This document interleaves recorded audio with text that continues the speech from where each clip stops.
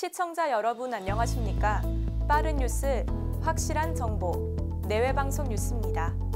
북한이 오늘 오전 동해상 북방 한계성 이남으로 탄도미사일을 발사해 우리 군이 대응 사격으로 맞섰습니다. 합동참모본부에 따르면 북한은 오늘 오전 8시 51분쯤 강원 원산 일대에서 동해상으로 탄도미사일 3발을 발사했으며 이 중 한 발은 동해 북방 한계선 이남에 떨어졌습니다.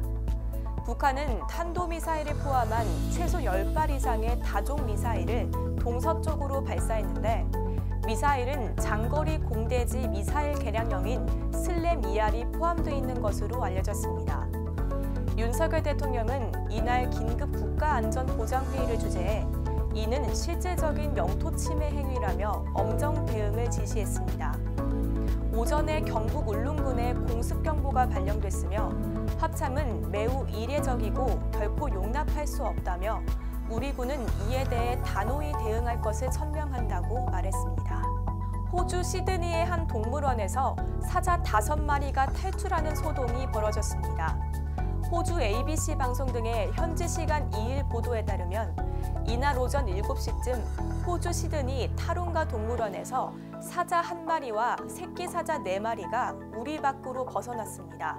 우리 밖으로 나온 사자 중네 마리는 스스로 돌아갔지만 나머지 한 마리는 사육사들이 마취총을 쏴 진정시킨 뒤 우리로 돌려보냈습니다. 다행히 사람들이나 사자들이 다치지 않았으며 동물원 측은 사자가 우리에서 빠져나올 수 있었던 원인을 조사하고 있습니다. 잉글랜드 프로축구 토트넘 선수들이 승리의 기쁨을 나누는 사진에서 손흥민 선수는 얼굴이 크게 부었습니다. 손흥민은 오늘 오전 프랑스에서 열린 유럽 축구연맹 챔피언스리그 조별리그 D조 최종 6차전 원정 경기에서 부상을 당했습니다. 손흥민은 전반 23분 공중볼 경합을 벌이다 프랑스 마르세유의 찬셀 은벤바의 어깨에 얼굴을 강하게 부딪혀 쓰러졌습니다.